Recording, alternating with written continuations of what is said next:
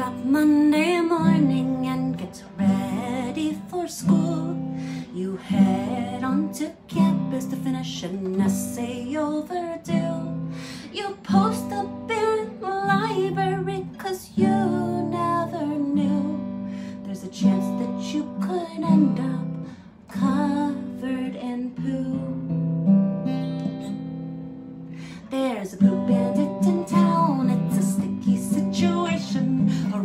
All the people trying to get an education. We don't know why he does it, he really didn't say.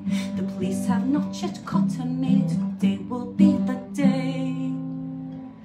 Poop bandit, poop bandit, why do you do it? It's absolutely disgusting the diseases you could transmit. Poop bandit, poop bandit, what's wrong with your head?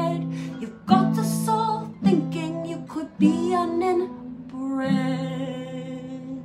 He sneaks in with a hard hat and a bucket of shit. Scopes out random students and hits them where they sit.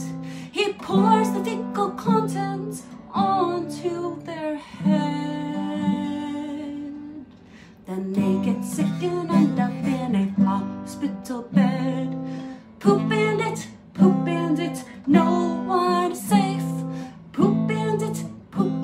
You are a disgrace. We don't want shit in our face.